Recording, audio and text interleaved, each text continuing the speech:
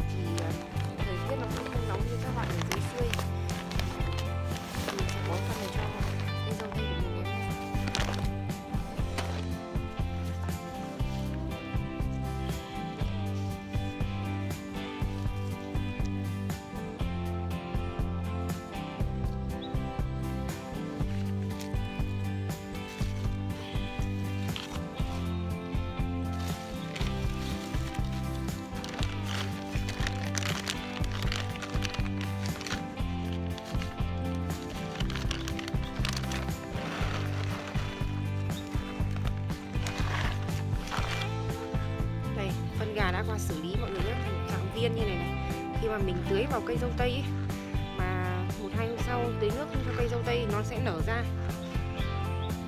Mình sẽ rắc quanh gốc cho cây dâu tây.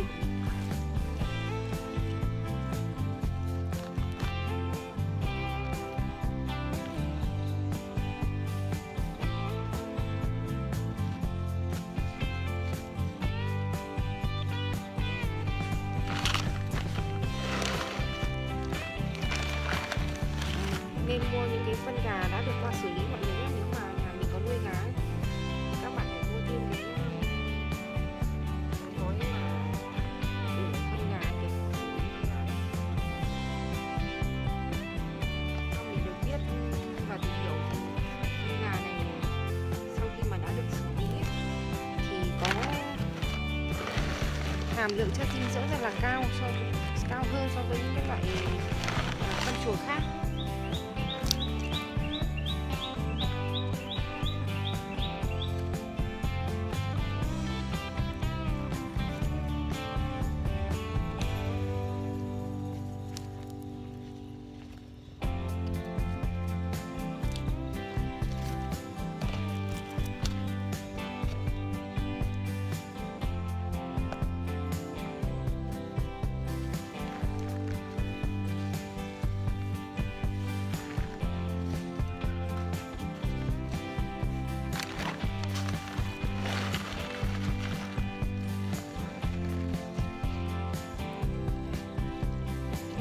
Dưới sẽ ờ, xung quanh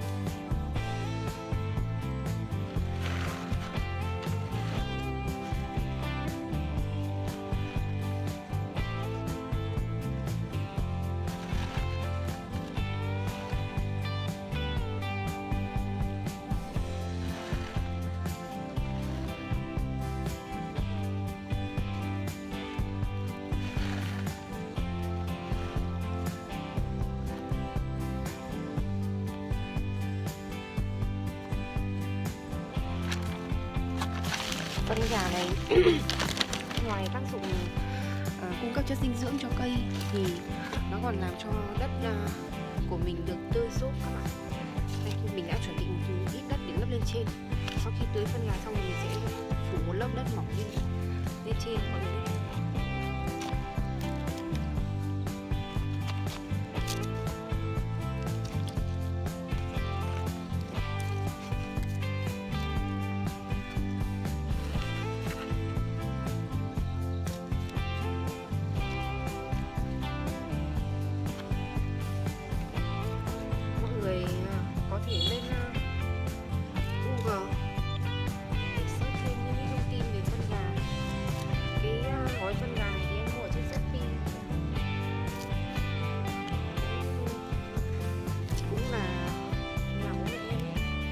trồng cây dâu tây nuôi gà thì cũng có bón phân gà mà chưa qua xử lý đâu. Nhưng mà cây dâu tây vẫn vẫn rất là tốt mọi người quả rất là to.